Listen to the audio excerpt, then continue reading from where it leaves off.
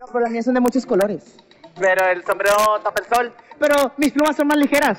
Pero mi sombrero es más grande. Pero yo puedo volar. ¡Ey, ey, ey! Tranquilícese, Ah, tranquilícese. ¿Qué es lo que está pasando?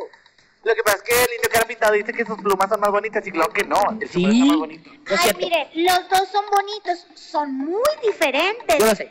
Y cada uno les da su propio estilo. Ah, ¿a poco sí, princesita hermosa? ¿Cómo?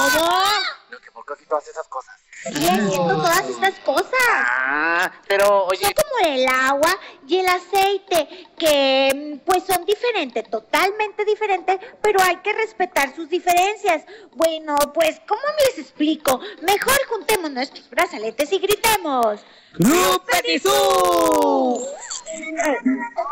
ahora los petizuritos bien cupiacheros!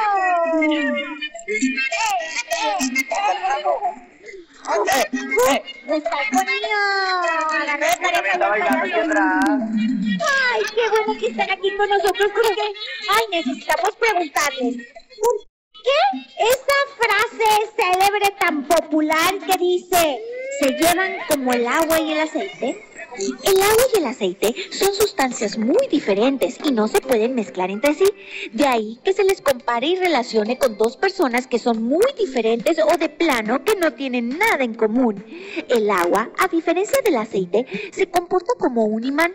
Por eso el efecto de juntarlos es el mismo que si acercas un imán a un trozo de madera. No pasa nada, no se atraen. Además, el agua es más pesada que el aceite. Por eso el aceite flota en el agua.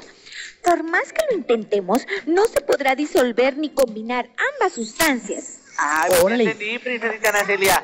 Ya entendí, pero sabes una cosa, él y yo sí tenemos algo en común. ¿Así? ¿En qué, Sí. Tito? Ay, pues que nos gusta probar